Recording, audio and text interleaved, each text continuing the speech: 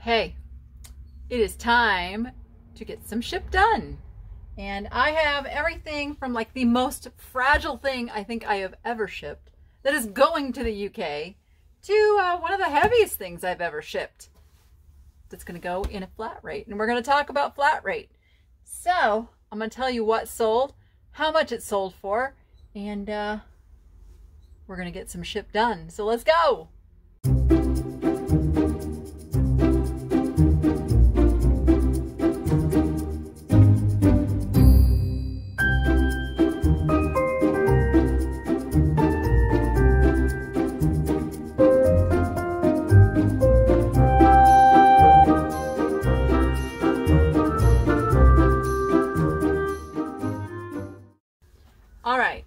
By the way, I don't mind leaning down a little bit to talk to you guys in the camera. It's way better than it was before. I can't raise it up anymore so you can see my face while I'm shipping or you won't be able to see me shipping. So this is good. I'm not bending over so much.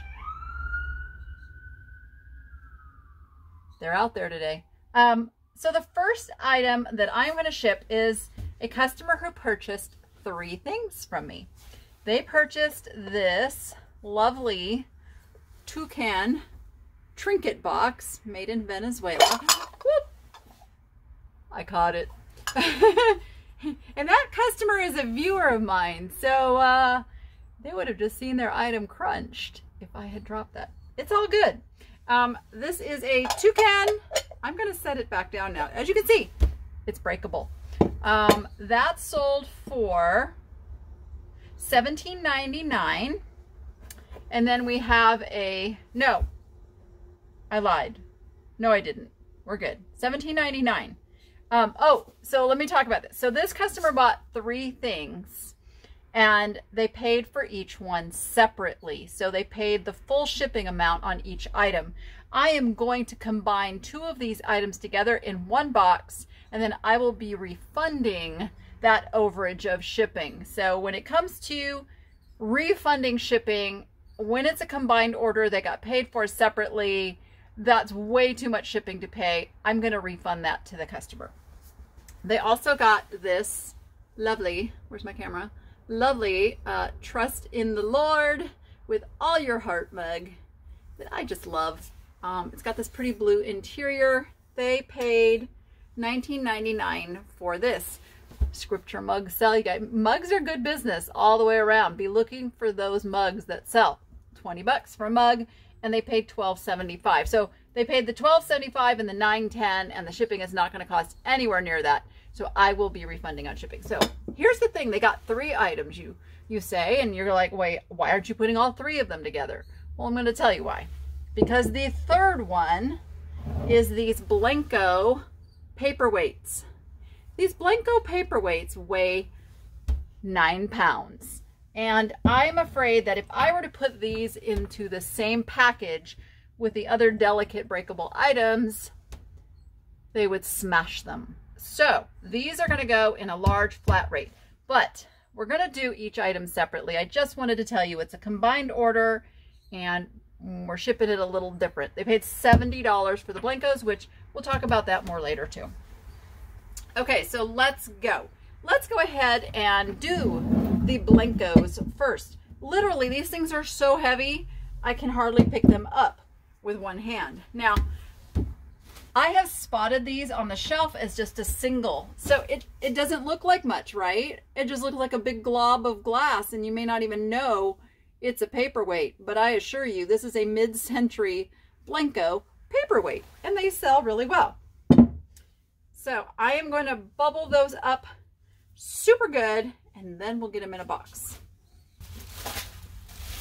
And I just realized I am missing my tape dispenser. I'll be right back. Okay, now we can function. So I'm gonna lay, I'm gonna do each one in their separate bubble wrap and then I'm gonna bubble wrap them together. Start this way.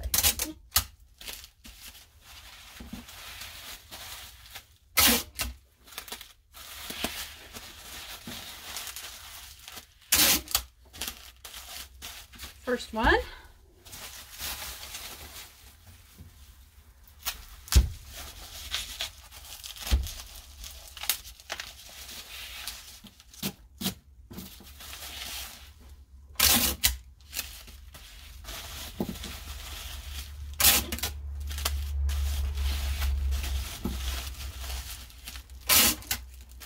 All right, now we've got them bubble wrap, and I'm gonna put bubble wrap around both of them together. Maybe. See how I'm going to do this. Okay. Yes. It makes a circle when they're uh, put together, so you'd think it would be easy. Just to roll them up. There we go.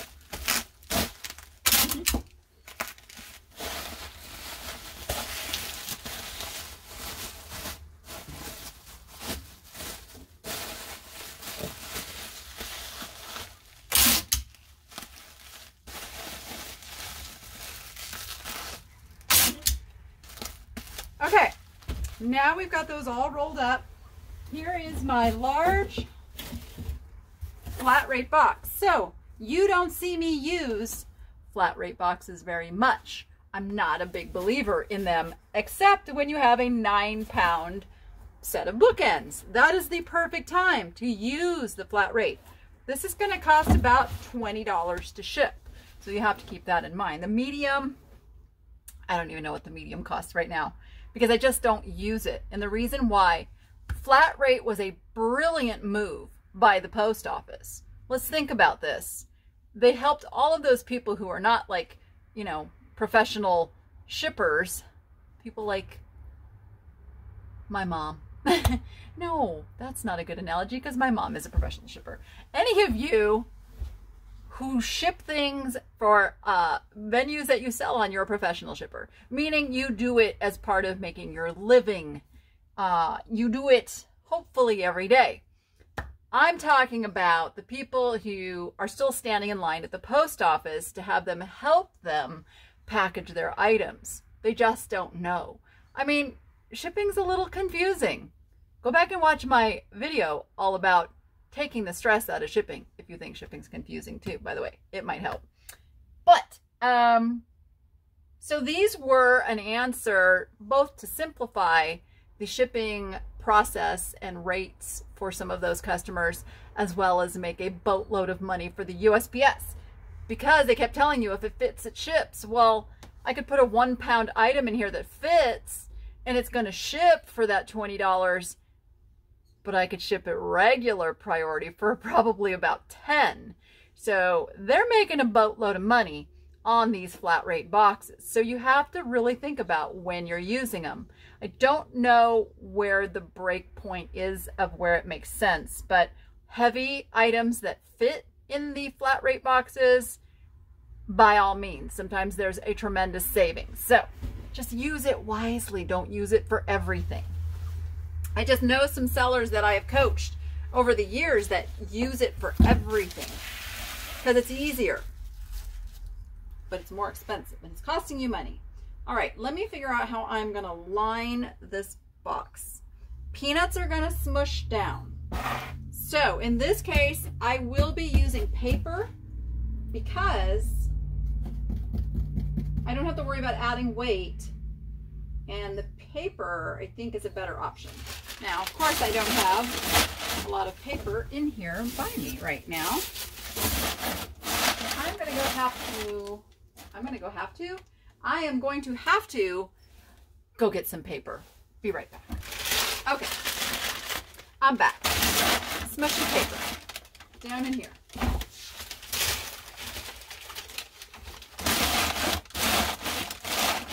Okay, I think that's good because I've got lots of bubble wrap around these and I have to leave room for them to actually fit in the box. Ooh, you know what? Putting them together may have made it. I have to redo this. They don't fit this way.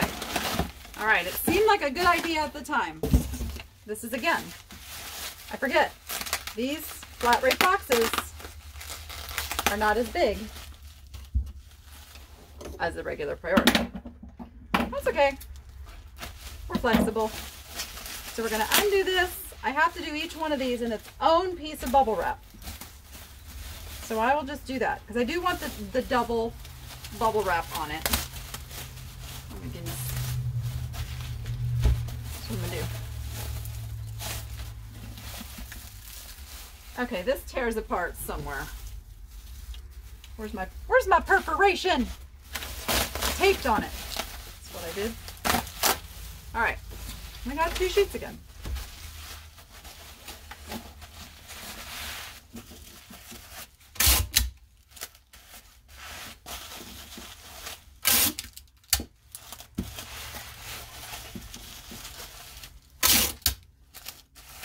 Okay, there's one.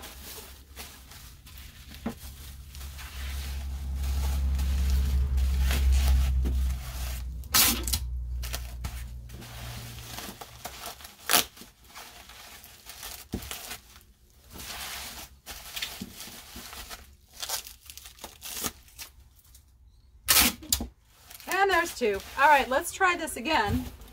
I'm gonna have to get a little creative now putting these in here and making sure that they are, there we go,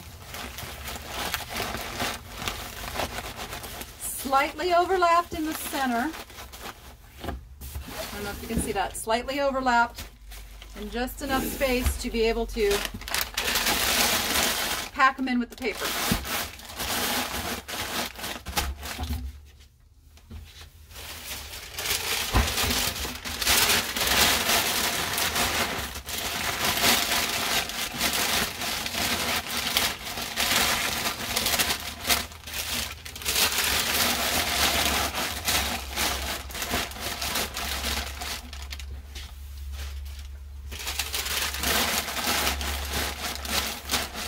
All right, it's the same principle as when I use the peanuts. I don't want any movement.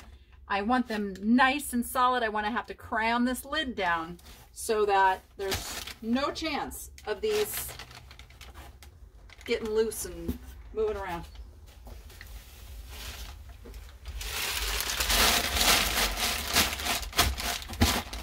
All right, and we're cramming, and we're cramming.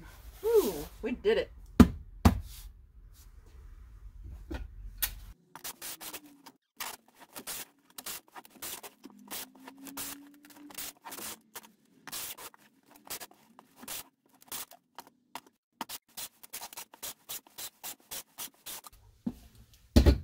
Whew. Okay, and you're probably asking, why did you use so much tape?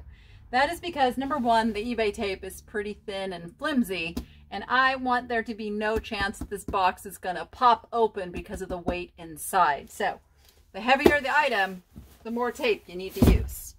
My pen is gone. No, it's not. Here it is. All right, on to the next one. So next, I am going to ship the two other items that were part of this order, but that are going in their own box. That is the toucan, a little toucan box. Okay, we can talk about this again now. The toucan box, $17.99 plus $9.10 shipping is what they paid for this. And we will give this some bubble wrap. Now I like to take the lid off, put bubbles between that, but still wrap it together.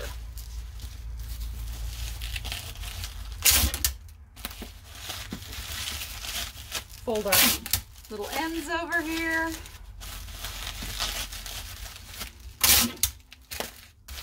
All right, and then the mug. Now when I do that bubble wrap for the mug, I use a long sheet of bubble wrap, which is two of the 12 by 12 squares. And I make sure that most of it is going to get doubled over on the handle. So you'll see, I'm gonna, your handle is always your most vulnerable part, vulnerable part of a mug. So now you see I have all this extra bubble here over on the handle. That's what I wanted.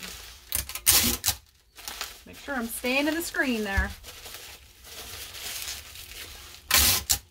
Someday we will find the perfect camera angle. Until then, let's do what we got to do. All right, now what I'm to use with this is a shoebox because I don't want to use a great big box for these.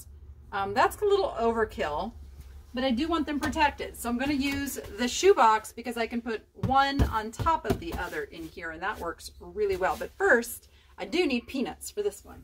So there's my first layer of peanuts. I'm going to put the mug in and I'm going to make sure the handle has plenty of room. See? And I'm going to put peanuts around that. Okay, I don't know if you can see, but I've got the sides of this box bulging out a little bit. It's okay to kind of pull these apart and make sure the peanuts go as much as you want them. Now what I'm going to do is I am going to put a little layer of peanuts between the two items and then put this in. And I'm putting it in long ways, not flat, so that there's plenty of room to package around it, which I'm going to go do right now. Okie dokie, there it is. All nice and secure. Close our flaps and tape it up.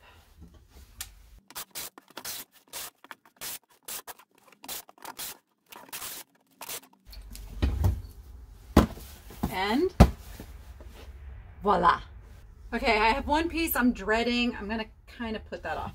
I'm to do the, the Christmas swan.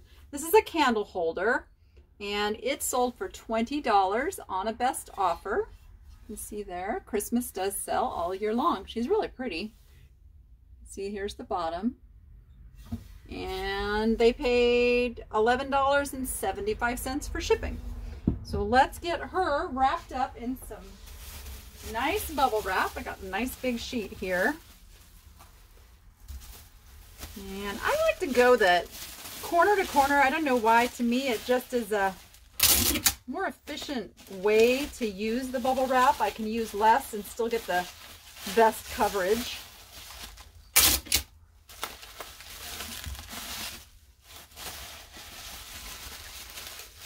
There we go. Bubbled up. And this one is going to go into, this is going to go into a regular number 12, I do believe. Not number 12, number 7, which is 12 by 12 by 8. So I always test it, you know, put the item in there, see if you've got room. I do. And now I'm going to go add the peanuts and get her packaged up. Oh, real quick, let me show you what I did. I'm not shipping her standing up. I'm laying her down so that the support on that neck is the best that it can be. All right, I'm going to finish it up. All right, now we're ready to Close the flaps. Smush it down.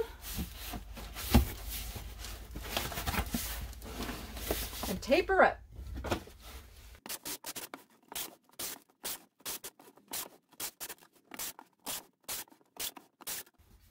All right. There we go. Next I have a Temptations. This is a muffin pan in Old World Orange. Um, and it's funny because it's actually not marked Temptations. This is one of the earlier ones, but it is absolutely that pattern. And we're going to give that some bubble wrap. Oh, this sold for $20 on a best offer, and they paid $12.60 to ship.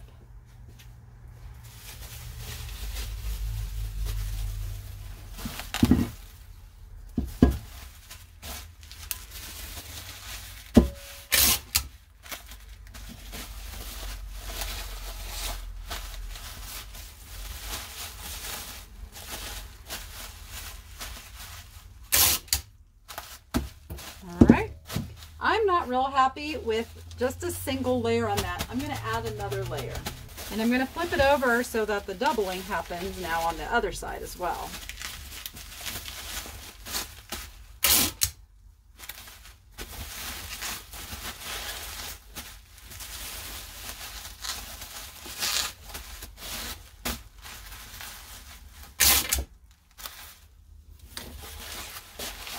And this is going to go number seven, which I don't have made. Let me make that right now.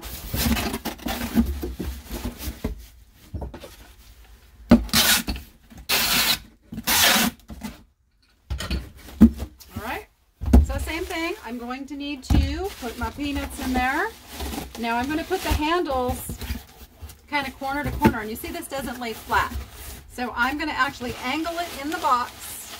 You know, now that I do this, now with the peanuts, I mean with the bubble wrap on it, man, I'm not happy with how smushy this is. I need to find a different box for the Temptation.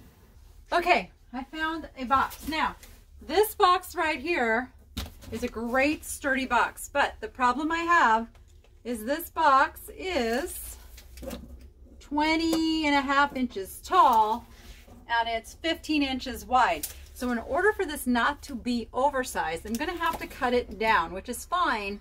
uh, because my plate is 12 by 14. I measured it. Yes, 12 by 14. So even if I go the long end, if I leave, wait, 14, 15. Yeah, so I want to leave at least an inch or two. If I cut this down to 16, I'll be good because that gets me into that 12 cubic inch parameter. All right, let me do that. I'll get back with you. All right, I have cut down the box. I cut off this extra flap here, and now I gotta go put the peanuts in and put the plate in. Okay, it's in there. I'm gonna put these flaps down, which is also extra heavy duty protection because now I'm like, I'm triple boxed on that little part. If I could just get this down to where this folds nice and neat, that would make me happy.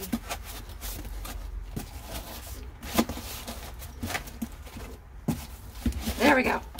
Whew. Oh, I did not just do that on camera.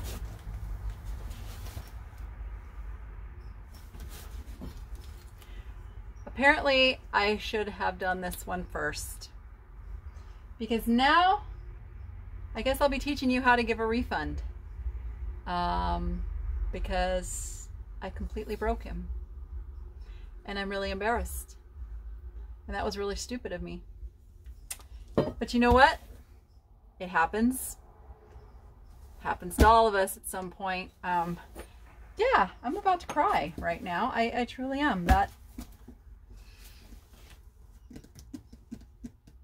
Okay, was meant to be was meant to be a teachable moment today that breakage happens.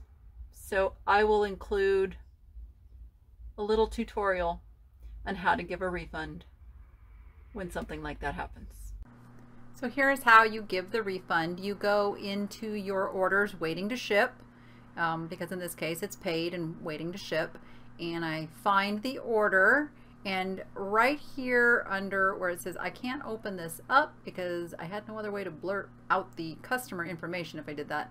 Um, but you'll see a selection that says cancel order. You want to select that. Then when you open that up, you'll see this screen. Your customer information is over there on the right. I cut that out. But you want to choose right up here out of stock or damaged if that is the reason you're canceling, which in this case obviously it is. And when you do that, you just hit submit. And this is the screen you will see next. Now the customer has to accept it and that's when it will be complete and then eBay will send you an email. So there it is. Here's my $40 sale that I have to refund. So sad. Okay. Shake it off shake it off, and finish the package you're working on, Danny. I'm just gonna kind of loosely fasten that just to get a start. Now I'm gonna go for it.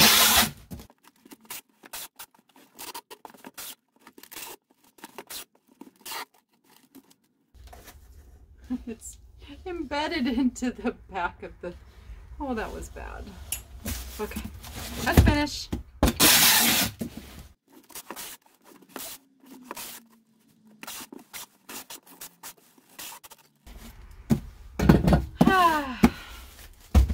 All right, well, I guess that's going to complete the shipping for today since I'm no longer shipping the one that I was putting off.